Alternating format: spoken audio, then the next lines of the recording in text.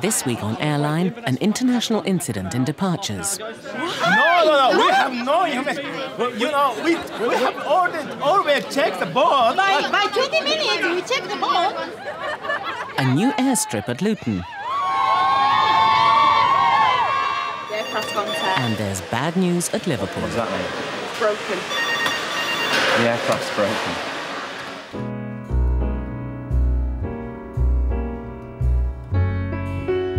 Come fly with me, let's fly, let's fly away. If you can use some exotic booze, there's a bar in far Bombay. Come fly with me, let's fly, let's fly away. It's been a difficult spring at Luton Airport, with severe fog and snow causing major disruptions for the airlines.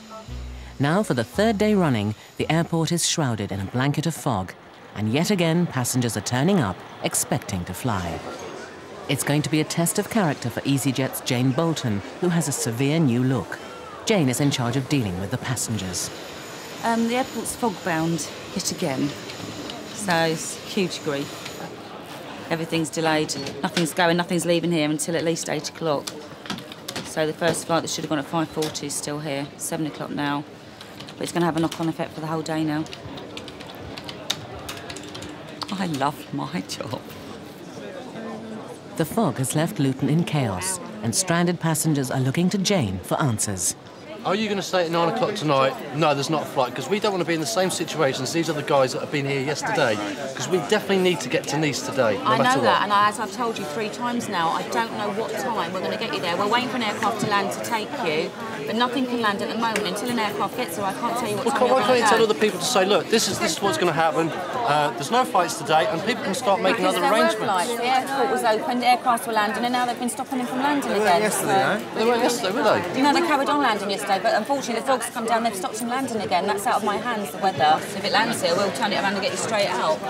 What do you think? if What's your professional opinion? Do you think I, I don't work. I have nothing to do with the weather. I don't know what happens with the weather and air traffic control. If the air traffic control decide it's too dangerous for it to land, it's too dangerous You for it must to have land. like updates on the weather though. we will have more information at 10.30. So I'm that- telling you, we'll have more information. 10.30 comes along, you can say, right, the flight's not going to take off. Hopefully, yeah. All right, yeah, thanks very much. Liverpool, yeah, I'm just trying to sort that one out for you at the moment. Hello? At Liverpool, despite the rain, it's good news for passengers finally boarding their flight to Amsterdam. A mechanical fault has made them two hours late. But there are knock on consequences for passengers to Luton. They now have to wait for the plane to return from Amsterdam before it can take them on to their destination.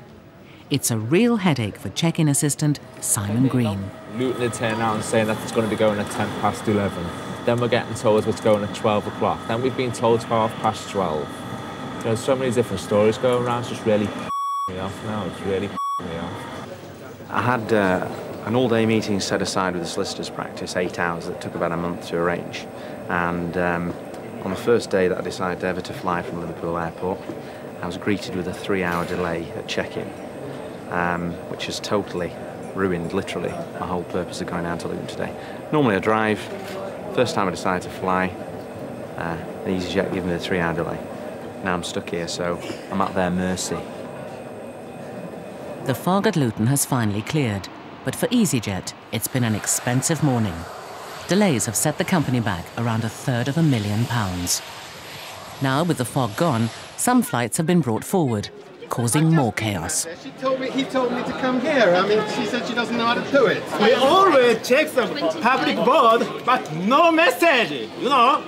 We No have been waiting six hours here, and we came here, but you Can I help you, said sir? just a flare left. What help you, sir? mean? We are waiting for six hours and we didn't recognize any flight Any on board, information, any information board. board. I'm afraid the Inverness flight has gone. It left about half an hour ago. No, no, no, we have no information. You know, we, we have already, always checked the board, By, but, by 20 minutes, we check the board. but you, your information is just 6.30 anytime. Can we just move a little bit away then? The Inamoto family's Inverness flight was initially delayed for six hours, but took off after four. Gate the message for the gate, gate 1B, then I came here quickly. But your colleague said are already left. What mean? Uh, We can't believe it. Incredible. We will. Oh, yeah. Fingers crossed, Jim. Have you- We can move you on to tomorrow's uh, EasyJet.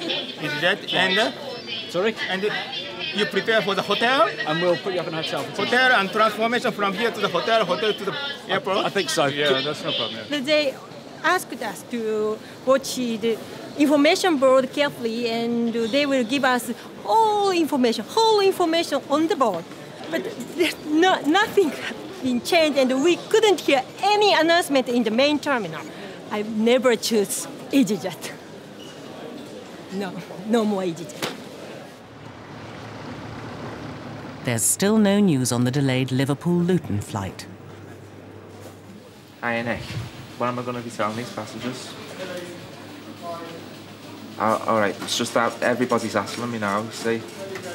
All right, Jack.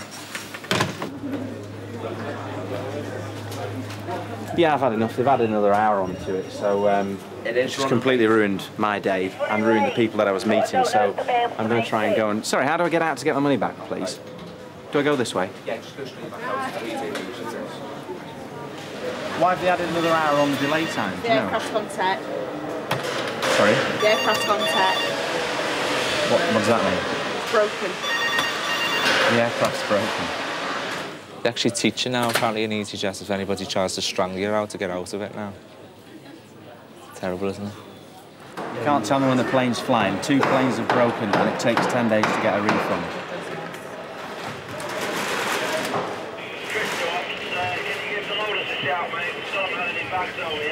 Fly with Easy broke. Frustrated with a wasted morning at the airport, solicitor Lee Martin heads back to the office to rearrange his meeting and work on getting a refund from EasyJet. But the smiles are back on everyone's faces at Luton, where EasyJet cabin crew scheduler Becky Fitchard is checking in her hen party for a flight to Palma. Well, we're going out to celebrate um, my wedding, which is in approximately, I've forgotten already, six weeks' time. And Janine, she's going out to Antigua on Wednesday to marry the wonderful Malcolm. but uh, we're going to on a pilgrimage to Magaluf and um, to the Holy BCM. And the Holy Bananas. And the Holy Bananas. And the Holy Car Wash. So, I'm sure they'll receive us well. And as for these lot, I don't know where they come from. They've just tagged me. Oh, oh she, no, she's married. No, you can't There's an hour to kill before their flight to Palma takes off, and they're making the most of it. Us when we need him. I thought it was this round. Purser on the hen party's Palma flight is Janie Stock. Janie has a lot on her mind. She's applied for a pet passport to bring her dog Blue Boy home from Mallorca. Now Janie's waiting for the results of his medical. Last night, David rang me, the guy who's looking after Blue Boy, the dog, um, to say the long awaited letter, the certificate of fly or not fly, has arrived. So instead of rushing through it last night and getting to open the letter and we both get um, sleepless nights over it, I said, wait till today because I'm coming over and we'll both go and see the vet together and see how it goes. Of course, that sent me sort of over the edge as far as nerves are concerned because I've been waiting for this letter too long. At the terminal, the hen party's drinking is brought to a sudden stop by an unexpected security alert. Is this a joke? Where's Dawn?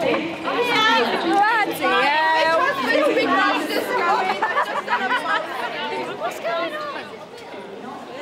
I've been that good in a disaster movie. But it's just an accidental false alarm. Keep moving down away from the terminal building. Stelios, if this is a practical joke, it's not funny. I think No, it is. I think it is. Probably an unintended bag, I would imagine. They've told us to walk away. So, bomb alert or perhaps unattended bag. Sound very experienced here, don't I?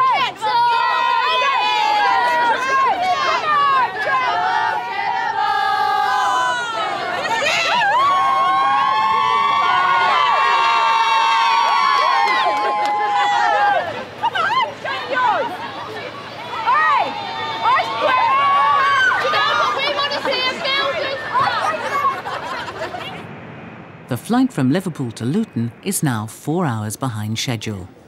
Mike Mercer's plans are in danger of collapsing. He needs to make a connection to Athens and then to Crete, where he has a job starting tomorrow. If I don't make the one in Luton, I'll be staying in Luton overnight because I can't.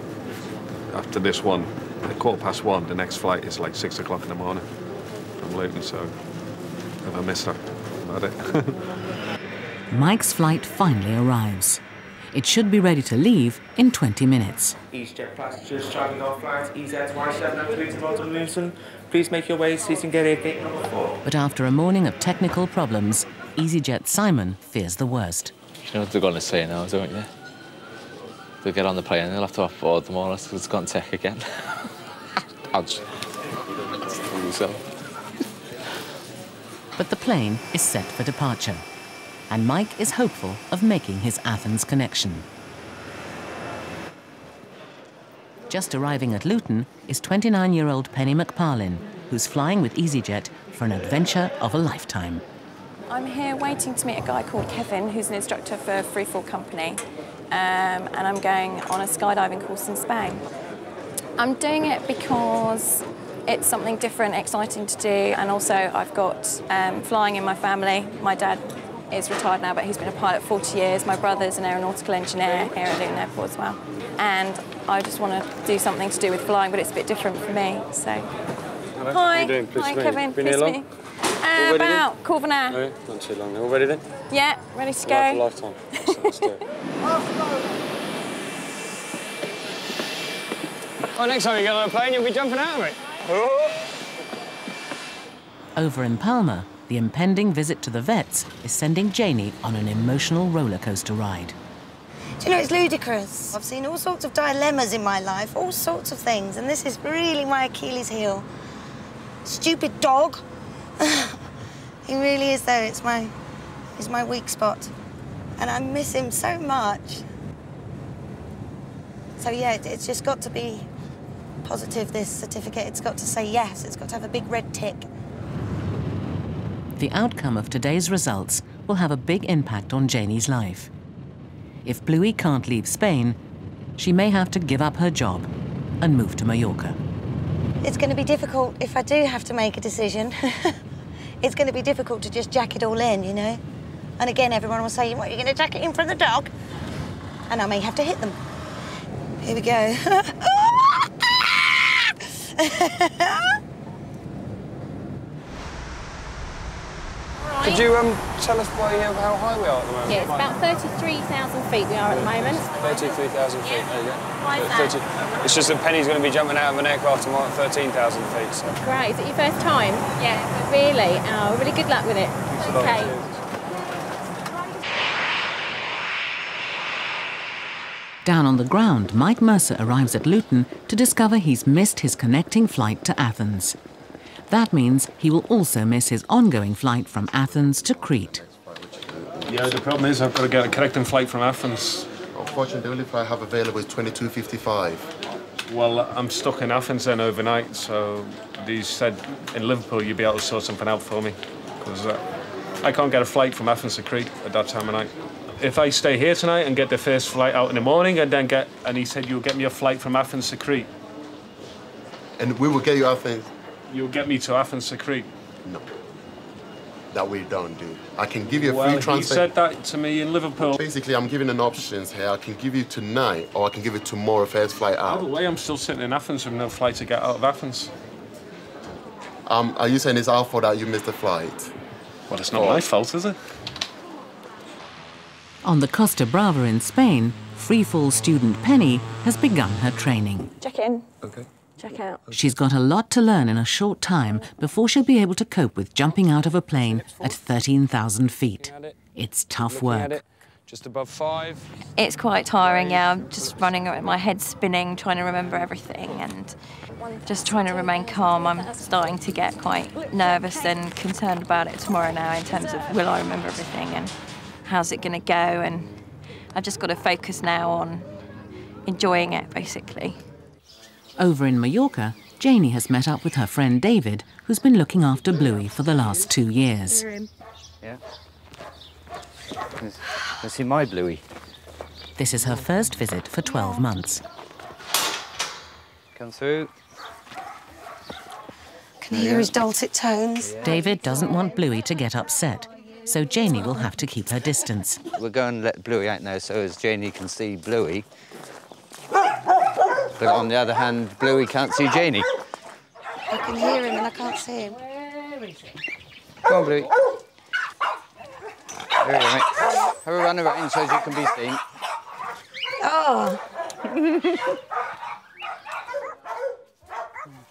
oh, look at him. Oh, he's looking good. Looking good, isn't he? Yeah. Yeah.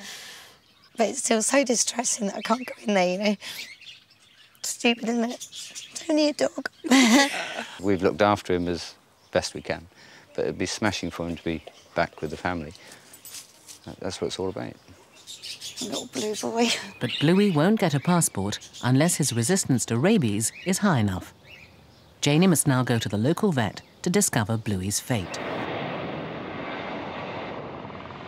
In Luton, a small mistake has caused a big argument for some Athens-bound passengers. I explained to Yeah, but then if that was explained, you would, we would have put in the right name. but he don't want to understand this tele, the man in the telephone, other than the... It's the always something. When booking her ticket on the internet, Mrs. Avital registered the wrong name. She now wants it changed, free of charge. You should know the system. Like, if you do a name change, You can't you check the put in the system right every name. day. The system it says every one minute. There was no reason to take it with me. It was So wrong. then it's a name change, and we've got to charge you No, ten it's not if name you pay me change. ten pounds, I- I'll, do- I'll give you. I'll put it in right now. You charge me ten pounds. Ten pounds. Take the phone. Take the ten No pounds. problem. What you I'm just trying to give all I you do is- I'm just trying to tell you. No, it's put it in as leisure to fly by EasyJet. That's it. Take your money. It's not a ten pound. I fly every week. It's not a ten pound. Take hundred pounds. You want more? I'll give you hundred pounds. It's no problem. It's yours. This is your money. Take it. Right. Conditions for skydiving are perfect on the Costa Brava, and Penny's psyching herself up for her 13,000 foot freefall. Here we go. I just hope that I stay calm and I don't panic. I don't know, it's obviously going to be like something I've never experienced before.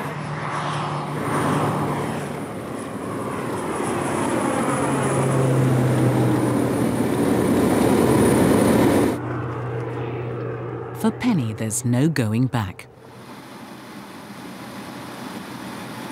Oh, she's here now. For Janie, the wait is almost over. How are you doing? Oh. How are you feeling? All right? Very nervous. well, let's find, Uh, out, find out what he He's says. got one of those kidney dishes I can vomit into. That twitchy. you know what I'm like. Well, here we are. Well, okay.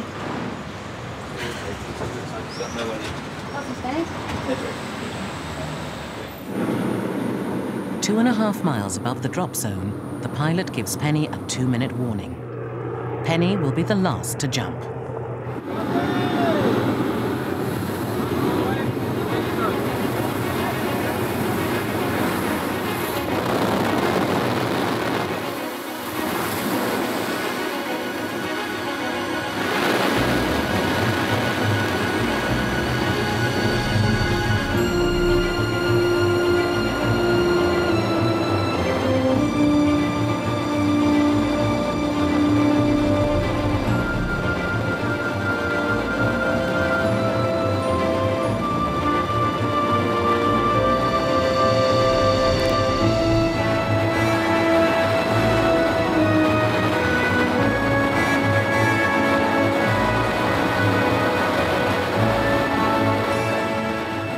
Falling at 140 miles per hour, the skydivers approach 5,000 feet.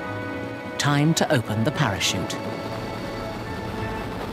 For a moment, it looks as though the chute isn't going to open.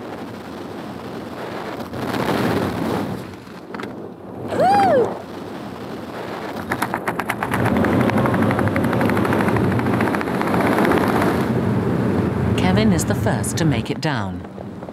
But Penny still has to touch down safely. Okay, stand by.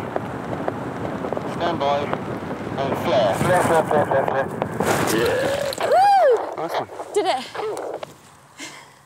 Apparently, it comes back to you, but I can't remember like the skyline or anything like that. I mean, yeah, I mean, it's, it is a an amazing experience, and um, I'm going to be going through it again tomorrow. I can definitely go for a few beers now and uh, relax a bit. Wow. No, fantastic. Amazing experience. All is about to be revealed for Janie. Has Bluey got the all clear to come back to England?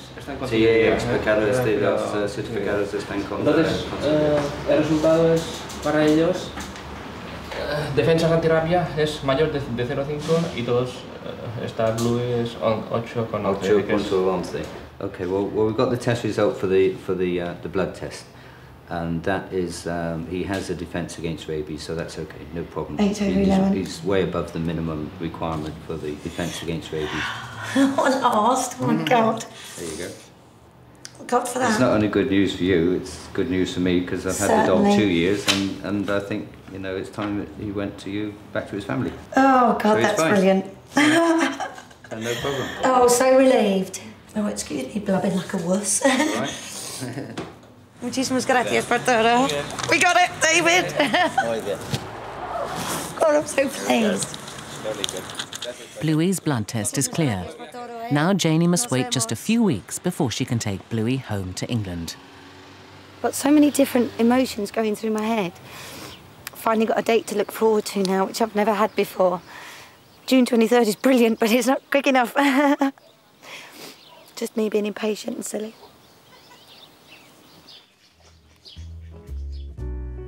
Penny successfully completed her freefall course and is now a qualified skydiver. The hens went on to cause havoc in Magaluf, and after spending the night in a Luton hotel, Mike finally made it to Crete a day late.